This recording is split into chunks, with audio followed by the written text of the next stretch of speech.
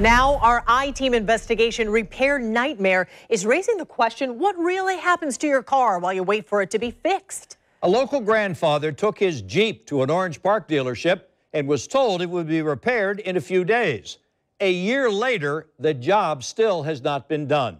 He contacted investigator Jennifer Waugh for help. Jen? Tom and Joy, to grasp the significance of this story and its impact on a local family, you really have to understand the love between a grandfather and his grandson. 72 year old Eddie Richardson saved his money for years so he could buy his only grandson a car for his 16th birthday. It was used, it had a dent in the back, but the Jeep Grand Cherokee became Travis Beck's pride and joy. He's a beautiful pianist. Everything about him, every breath he takes, since the day he was born, I've been proud of him. 17 year old Travis Beck is not only an accomplished pianist, but he's a good student and even works two jobs. One of them playing piano for the choir at West Kennett United Methodist Church. Getting to work and school is hard without a car, so buying him one for his 16th birthday was a no brainer for his grandfather. You had to pull him back down. It was like he had helium in his ankles. He was off the ground. He, uh, he loved the car. He was ecstatic. It was a 2004 Jeep Grand Cherokee Limited, which I never did find out what the Limited meant, but it had an inline six in it, which is just a great engine. I loved it.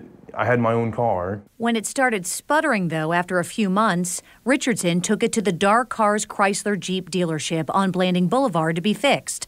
It wasn't where he had bought the Jeep, but. So I've always taken my cars to the dealership.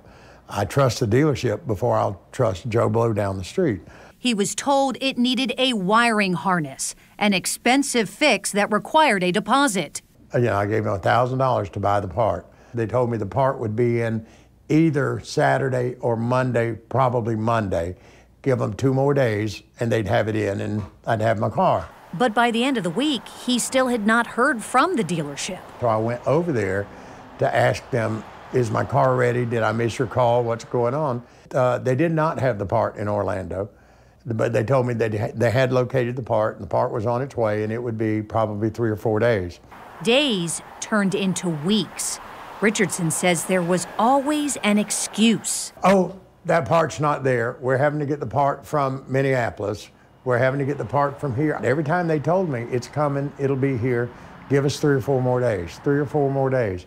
Never once did they give me anything more than three or four days.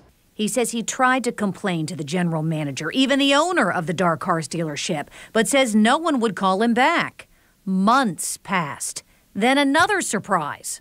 I got a ticket from FDOT showing my tag on the back of a Chevy cargo van. Where? Miami. Miami? He was furious and went to the dealership demanding answers from the service desk. My tag is on my car at your dealership. Why is it on the back of a Chevy cargo van driving through Miami and running tolls? And I cannot say on TV or at church what the guy told me, but he said, that's pretty up. That was his excuse. That's pretty up. And when he insisted to see his grandson's Jeep, they could not find the key to the car. They didn't even know where it was. Richardson and his brother in law searched themselves and did eventually find it.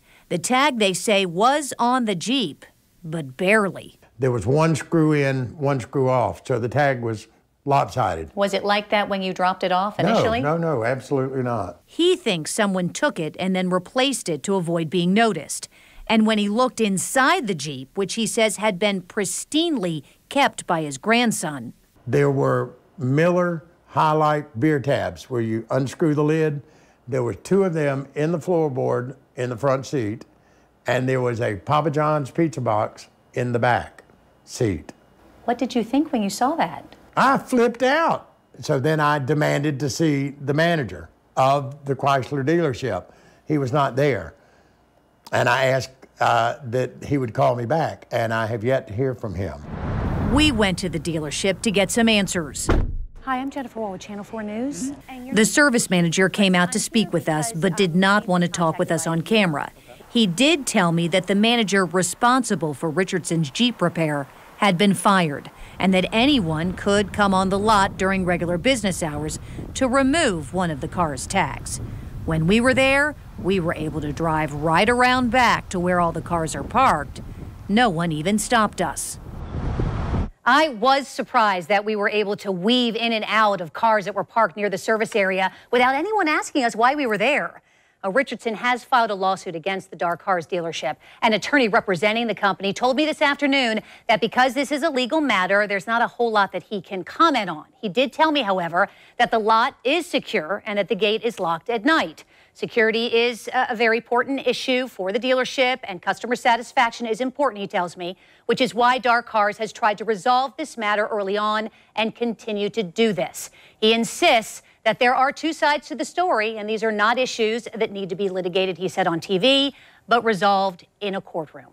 Dark Cars, by the way, denies all of the allegations in the lawsuit filed against them. Well, Jen, here at News4Jax, we get so many complaints just in general about car repairs. So, what homework can people do to help avoid a possible repair nightmare? It is so important to check backgrounds, do your research. So, for example, if you are having a part replaced on your car, you want to ask if it's going to be a used part or if it will be new.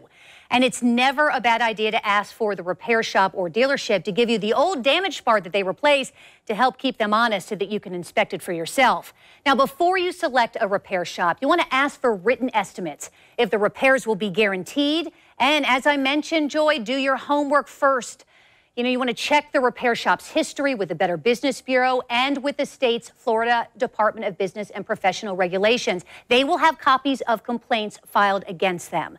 Joy, Tom, so important to do your homework. I cannot say it enough. We see these kinds of complaints all the time. Mm -hmm. We'll be eager to see how this turns out, Jen. Thank you very much.